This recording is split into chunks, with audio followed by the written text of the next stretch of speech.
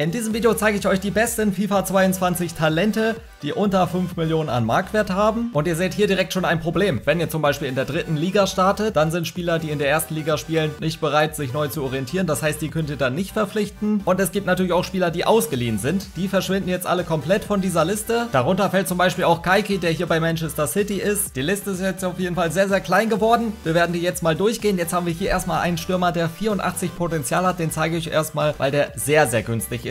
Später kommen wir nochmal zu den sehr, sehr günstigen Spielern. Das sind eher so ein bisschen teurere Spieler, die wir jetzt haben. Aber ja, 84 Potenzial, Stürmer, 59er Gesamtstärke, den kann man auf jeden Fall günstig bekommen. Und der hat auf jeden Fall jede Menge Antritt. Ich würde euch empfehlen, den vielleicht auf den Flügel zu trainieren, denn der hat nur 62 Abschluss. Der wird da dann wahrscheinlich äh, viel, viel besser sein von der Gesamtstärke her. Alle Spieler bis Gavi haben auf jeden Fall jetzt 85 Potenzial, also die nächsten sieben Spieler. Die nächsten sechs Spieler haben auf jeden Fall 85 Potenzial. Der erste ist auf jeden Fall ein ZOM aus Polen, Kozlowski. Den bekommt ihr auf jeden Fall für unter 5 5 Millionen. So sehen auf jeden Fall hier die Werte bei ihm aus. Außenrissschuss, Dribbeltechniker, also mit denen werdet ihr auf jeden Fall ein bisschen Spaß haben, aber ist jetzt auch kein Ultratalent, wo man denkt, okay, der hat irgendwas ganz besonders heftig, aber Beweglichkeit und Balance, also der lässt sich auf jeden Fall gut spielen. Perfekt für die ZOM-Position. Den nächsten Spieler könnt ihr leider nur per Freigabesumme bekommen, ist ein bisschen über 5 Millionen, aber der hat 87 Antritt. Vielleicht gefällt euch der ja und ihr wollt den holen, auch wenn das natürlich ein bisschen überpreist ist, aber vielleicht, falls ihr was für Winter oder die nächste Saison auf jeden Fall braucht. 78 Dribbling ist hier noch am Start, Ballkontrolle ist am Start, also mit dem kann man auf jeden Fall auch Spaß haben. Auch zum Flügel hier umwandeln vielleicht noch. Und dann kommen wir direkt hier zum nächsten Stürmer. Der ist auf jeden Fall auch Linksfuß. Falls euch das auf jeden Fall wichtig ist. 82 Antritt, 69er Abschluss. Und den solltet ihr auch locker unter 5 Millionen bekommen. Die nächste Position ist wieder ein Flügelspieler. Da wird es ein bisschen schwieriger, den für 5 Millionen zu bekommen. Aber wenn ihr da so ein bisschen Verhandlungsgeschick habt, könnt ihr das vielleicht erreichen. Beziehungsweise auf jeden Fall schaffen. Sonst einfach einen Spieler mit ranbieten oder sowas in die Richtung. Das sind auf jeden Fall hier die Werte von ihm. 75 Dribbling. Und wir gehen direkt zum nächsten nächsten Spieler. Der ist auch auf der linken Seite aktiv. Im linken Mittelfeld ist auch Linksfuß. Bei dem wird auch wieder ein bisschen schwieriger, 5 Millionen äh, quasi nur für den auszugeben, aber sollte auch machbar sein. Aber nur 72 Antritt, das ist natürlich für ein linkes Mittelfeld vielleicht nicht ganz so viel. Dann kommen wir jetzt auf jeden Fall zu Gavi, der spielt beim FC Barcelona, ist 16 Jahre alt, kann man auch leider nur über die Freigabesumme hier ziehen. Also hier auch wieder vielleicht ein bisschen warten und dann die Freigabesumme ziehen. Genau das gleiche bei dem Innenverteidiger, den kennt ihr vielleicht schon aus FIFA 21, sehr, sehr bekannt. Hier seht ihr nochmal die Werte Werte von den beiden Spielern. Gavi 16 Jahre alt von Barcelona. Dann kommen wir jetzt nochmal zu einem englischen ZOM, Carvalho. Den bekommt er auch auf jeden Fall locker unter 5 Millionen. Der hat nicht so viel Marktwert, weil da auf jeden Fall der Vertrag ausläuft. Da könnte vielleicht sogar noch unter 6, äh, 2,6 äh, kommen. 67er Gesamtstärke auf jeden Fall. Das sind auf jeden Fall die äh, Statistiken. Ich würde sagen, das ist ganz stabil für einen ZOM. Und der hat hier 86 Potenzial, genau wie Stergio. Gavi war noch bei 85 Potenzial. Und dann kommen wir direkt äh, zum letzten Spieler. Aber wir machen natürlich gleich weiter. Der Spieler ist aktuell zu wichtig für den Club. Da könnt ihr vielleicht versuchen, mit Salzburg in Verhandlungen zu gehen für einen anderen Spieler und da quasi einen Stürmer einzutauschen, dass die quasi einen Stürmer haben. Dann kann man diesen Spieler wahrscheinlich wieder verpflichten. Und auch in der neuen Liste gibt es noch einige Leute, also ich habe schon nach erster Liga und so ein bisschen rausgefiltert, die sich nicht umorientieren wollen. Aber wir gehen jetzt in die neue Liste rein. Lasst auf jeden Fall jetzt noch schnell einen Like da, falls euch das Video gefällt. Jetzt haben wir nochmal richtig viele Talente hier gleich am Start. Den Torwart können wir hier auch nicht verpflichten, aber der ist am Anfang ein freier Spieler. Den hat sich Eindhoven einfach so geholt. Der hat 84 Potenzial, kostet auf jeden Fall unter eine Million, beziehungsweise vielleicht bekommt ihr ihn auch noch am Anfang der Karriere als freien Spieler. Wollte ich euch kurz nochmal zeigen. Mit 84 Potenzial kann man da auf jeden Fall nichts falsch machen, aber natürlich schon sehr, sehr schwach von der Gesamtstärke. Und schaut gerne mal beim Kanal vorbei, da gibt es noch viel, viel Content hier mit Talenten. Wir werden jetzt mal nach Position sortieren. Wir fangen direkt hier mit dem Torwart an. Alle Spieler auf dieser Liste haben eine 83er oder einen 84er Potenzial. Und wie gesagt, das Schwierige ist, Spieler zu finden, die man halt auch verpflichtet verpflichten kann in der dritten Liga. Den Torhüter kann man auf jeden Fall verpflichten. So sieht das Ganze aus aus Griechenland. Wir gehen direkt zum nächsten. Der kommt hier aus England, beziehungsweise aus Irland, aber spielt in England bei Portsmouth. Der wäre auf jeden Fall die bisschen günstigere Variante, aber natürlich dafür auch klar bisschen schlechter. Kommen wir auf jeden Fall mal wieder zu einem sehr, sehr schwachen Spieler. Den kann man per Freigabesumme ziehen. Also falls ihr noch ein bisschen Geld übrig habt, 1,6 Millionen, sowas in die Richtung, dann könnt ihr euch den auf jeden Fall holen. Oder einfach ein bisschen abwarten und gucken, ob der dann irgendwann in der Karriere immer noch die Freigabesumme hat als 70er oder oder sowas. Die Werte sind jetzt natürlich nicht so top, 58 Antritt und so weiter. Ihr seht es ja hier, aber wie gesagt, der kann sich entwickeln. Schaut da auf jeden Fall mal vorbei, was so, äh, sich so mit dem tut. Das wäre auf jeden Fall eine bisschen teurere Variante, aber könnte auf jeden Fall auch noch unter 5 Millionen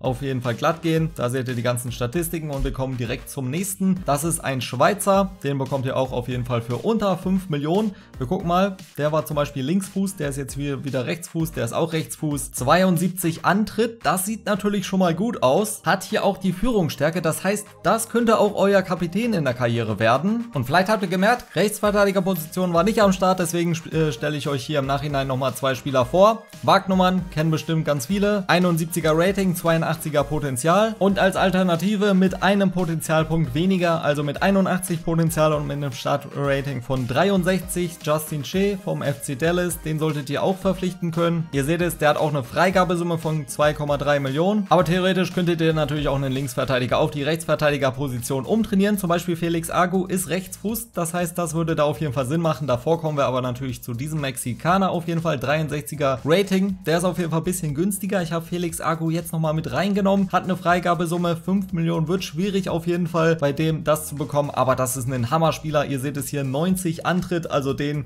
habe ich auch in FIFA sehr, sehr hoch gebracht. Also in FIFA 21 weiter Einwurf. Das ist ein klasse Spieler. Damit macht ihr auf jeden Fall nichts falsch, aber müsst ihr natürlich ein bisschen mehr investieren. Dieser Linksverteidiger ist natürlich ein bisschen langsamer. Alejandro Gomez hier, aber gut eine günstige Alternative auf jeden Fall. Kommen wir direkt zur nächsten Position. Rechtes Mittelfeld. Das ist jetzt auch wieder ein bisschen teuer. Ich packe die Spieler jetzt mal rein. Falls ihr noch eine Million oder so mehr habt zum Ausgeben, packe ich es lieber hier rein, anstatt, nicht, äh, anstatt es einfach nicht zu machen. Der kann auf jeden Fall drei Positionen spielen, hat einen 72er Antritt, aber 70 Abschluss. Das heißt, als Stürmer umzutrainieren macht wahrscheinlich nicht so viel Sinn. Ist auf jeden Fall auch so ein bisschen so ein Dribbler. Kommen wir direkt zum nächsten Spieler. Der ist übrigens auch Linksfuß, also da vielleicht auch sinnvoller, den auf das linke Mittelfeld zu stellen oder man zieht nach innen, wie man will. Zweite Position bzw. zweites rechtes Mittelfeld, diesmal aus Belgien. Der hat auf jeden Fall ein paar mehr Eigenschaften. Vier Stück an der Zahl, 82er Antritt auf jeden Fall. Abschluss ist natürlich gar nichts, deswegen der hat auch alle drei Positionen. Stürmer macht da überhaupt keinen Sinn. Aber ja, den wird man auf jeden Fall auch für unter 5 Millionen bekommen. Oder man wartet ab, bis der schon besser geworden ist und holt ihn dann für 6 Millionen. Jetzt kommen wir hier zur ZM-Position. Da seht ihr direkt, der äh, Spieler bzw. der Verein will den Spieler nicht abgeben. Wie gesagt, da könnt ihr meist meistens, ich weiß nicht, ob es jetzt bei Espanyol der Fall ist, aber versucht einfach mal einen Spieler da quasi ranzubieten, der auch ZM ist bei einem anderen Transferangebot. Dann gehen diese Nachrichten manchmal weg. Hat auf jeden Fall auch eine Freigabesumme von unter 5 Millionen, das heißt, da kann man auch auf jeden Fall abwarten. Linksfuß auf jeden Fall, das sind die Statistiken. 75 Antritt ist ganz gut für einen ZM, vor allem mit einer 64er Gesamtstärke. Kann man überlegen, ob man den vielleicht auch auf den Flügel trainiert. Kommen wir direkt zum nächsten Mann hier. Das ist Marco Bulat aus Kroatien. Der wird auch ein bisschen teurer auf jeden Fall sein. Der ist auch so ein richtiger ZM auf jeden Fall. Ausdauer 75, Ballkontrolle, kurzer Pass, langer Pass. Also der ist da auf jeden Fall perfekt aufgehoben auf der Position. Der nächste Spieler kommt vom gleichen Verein und es kommt natürlich auch hier von Kroatien. Also ja, das sind quasi die gleichen Spieler, nur der eine ist günstiger. Die Statistiken sind aber natürlich auch noch ganz wichtig, aber die sehen wirklich gleich aus. Also ja, das könnten auf jeden Fall Brüder sein. Das sind so klonmäßig. Also falls euch der zu teuer ist, dann holt euch einfach den. Der ist vielleicht noch so ein bisschen offensiver sogar. Der nächste kommt nicht aus Kroatien, der kommt aus Mexiko,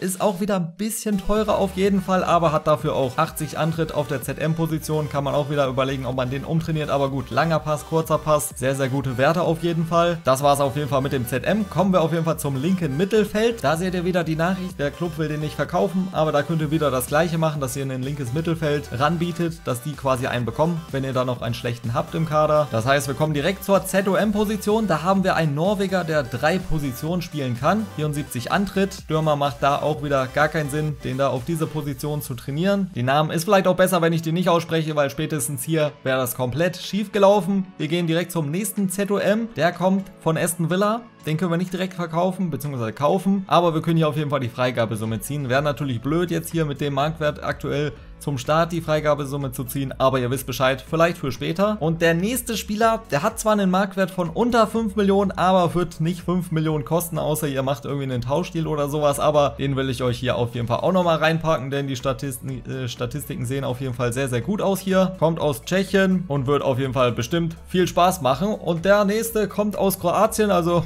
Ihr könnt euch ein kroatisches Team so ein bisschen bauen. Sehr viele kroatische Talente, auch wenn Kroatien die Nationalelf nicht dabei ist hier in FIFA 22. Da wird es auch wieder knapp mit den 5 Millionen. Das sind auf jeden Fall die Statistiken. Müsst ihr euch überlegen, ob der euch das auf jeden Fall wert ist. Dann kommen wir hier zum rechten Flügel. Dolan kann wieder drei Positionen spielen. 5 Millionen sollte da auf jeden Fall fit gehen. 85 Antritt auf jeden Fall. Das sieht sehr, sehr gut aus. Und 91 Beweglichkeit. Also das ist ein Spieler, den kann ich euch wirklich empfehlen. Der kann auf jeden Fall sehr, sehr viel Spaß machen. Und wie gesagt, man findet solche Spieler mit äh, solchen Werten nicht so oft, weil die meisten ja äh, meistens schon bei den richtigen Top-Clubs in der ersten Liga und so weiter spielen. Kommen wir jetzt zur Stürmerposition. Da haben wir jemanden aus der B-Mannschaft von Real Sociedad. Einen äh, spanischen Stürmer, den ihr auf jeden Fall auch sehr günstig bekommt. Werte sind jetzt nicht so überragend. 70 Abschluss, also das ist schon ein Stürmer. 11 Meter könnt ihr auf jeden Fall mit dem schießen. Aber ja, da ist auf jeden Fall noch viel Entwicklungspotenzial, aber schneller Stürmer ist das natürlich nicht. Dafür ist auf jeden Fall der nächste Stürmer von Molde FK hier ein sehr, sehr schneller Stürmer. 86 Antritt auf jeden Fall, aber der Abschluss ist einfach mal gar nichts. Also da sollte man auch überlegen, ob man den vielleicht nicht lieber auf den Flügel packt. Da ist er, glaube ich, ein bisschen besser aufgehoben. Aber ja, den bekommt man auf jeden Fall für unter 2,7 Millionen. 18-Jähriger aus der Elfenbeinküste, auch ein sehr, sehr gutes Talent. Kommen wir zur linken Flügelposition und kommen wir zu den letzten beiden Spielern jetzt hier. Wir haben nochmal einen Engländer von Bournemouth. So sehen auf jeden Fall hier die Statistiken aus. Ein paar Distanzschüsse kann man mit dem auf jeden Fall auch machen. Beziehungsweise ist, glaube ich, nur für die CPU. Gut, dann auf jeden Fall nicht. Dann will man auf jeden Fall nicht gegen den spielen.